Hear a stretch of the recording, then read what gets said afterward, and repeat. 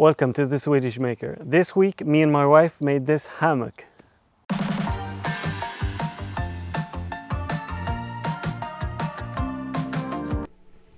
We started by cutting all the pieces for the base to length. The base is made from 2x4s apart from the two pieces in the bottom that we use to keep the legs together as seen in the drawing.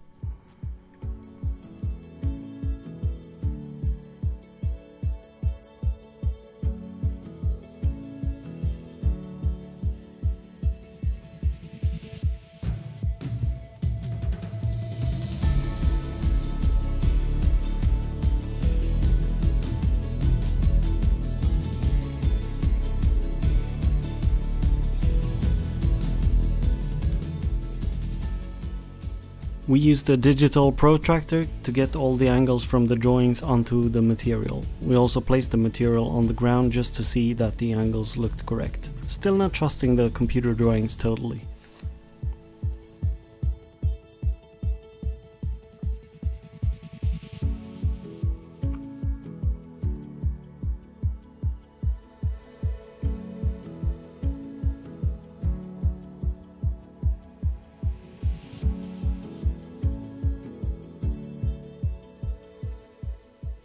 Once all the pieces for the base were cut to length, we started by cutting the half lap joints on the leg parts. These are not going to be glued because we want to be able to take it down during winter, so we're going to use wing nuts on most of the joints. I started cutting the half lap joints with a Japanese saw and a chisel, but I slowly realized that would take too much time, even though it feels good working with hand tools. For the rest of the cuts I used a table saw and a miter gauge.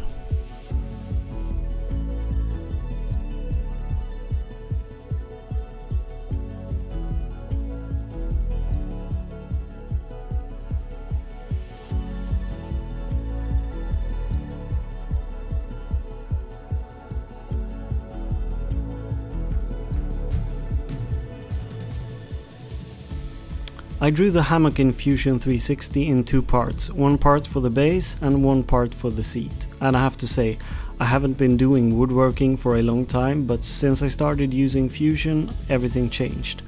I used to do so many mistakes since I just had a rough sketch to build from, and now when I'm using Fusion, I'm handling most of those issues directly in Fusion before the build has even started. I did go through a course made by Brandon who runs the channel Make or Break Shop and his course covers all aspects of fusion connected to woodworking and it is really easy to understand.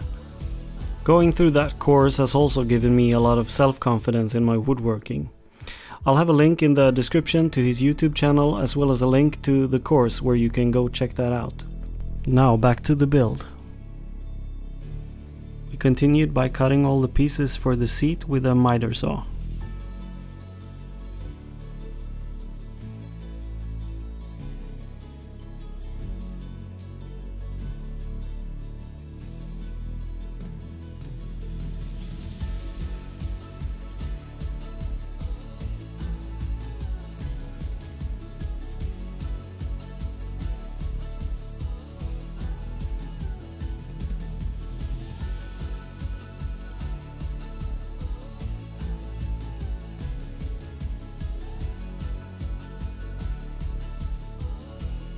I rounded off the corners for the seat with a bandsaw and then I taped them together and sanded them for a nice finish. This is just a detail, but it's all in the details.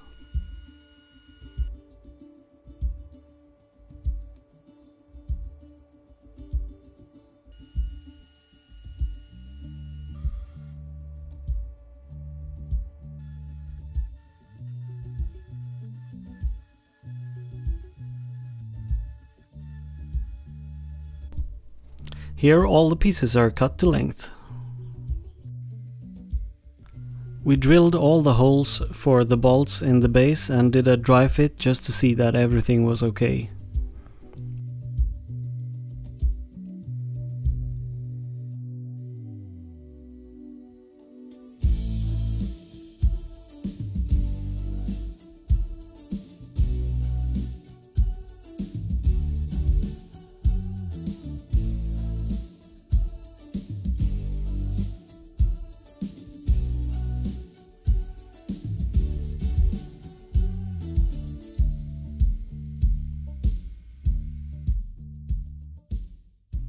We use these barrel nuts just to get a sturdy construction.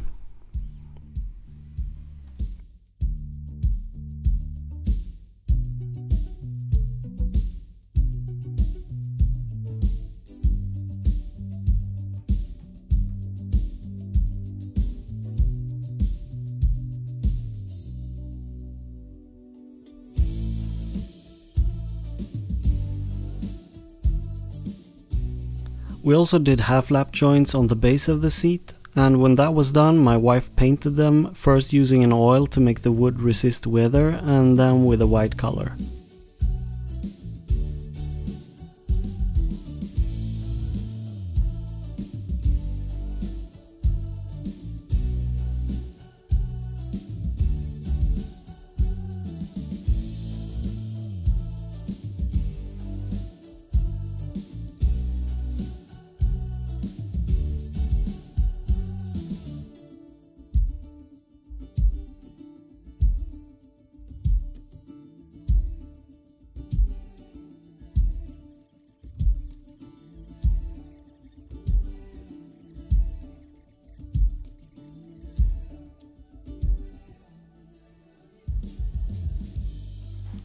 Now we did intentionally save the armrests for last because we had to think about how we would attach the seat to the base.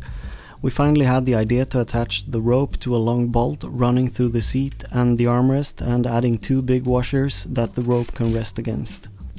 We made two similar pieces of armrest out of some scrap wood we had lying around and we just drew freehand and did the cutting on the bandsaw with the pieces taped together to make them kind of similar. We then used the belt sander to make them look handmade of some sort.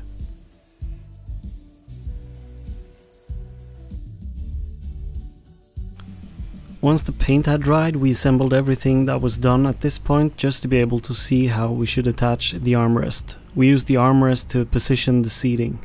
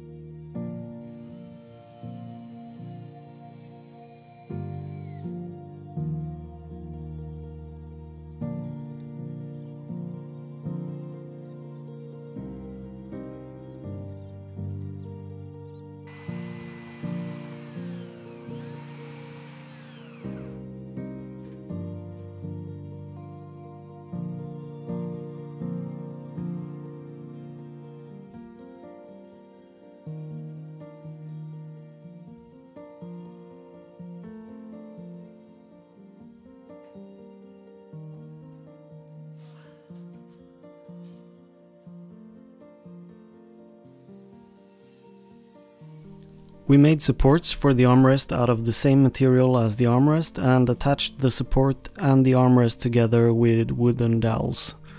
Since it was hard to clamp them together, I used the vise to hold on to the support and then I clamped the armrest to the vise. That way I could clamp them together with enough force.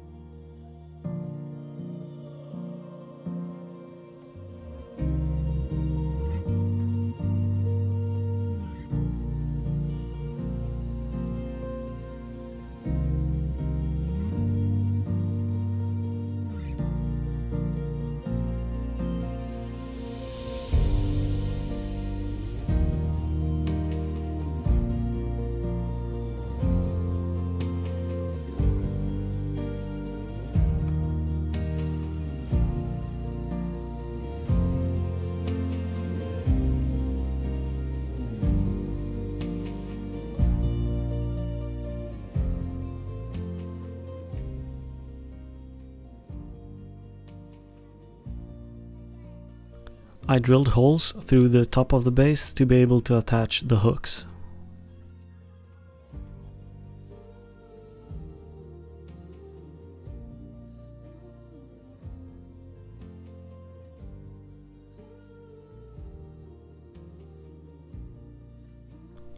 My wife spliced the ropes to create loops where the rope would hang. I have no idea how this is done, but it makes a really strong loop, or so I'm told. Then we could just assemble everything and the project was done.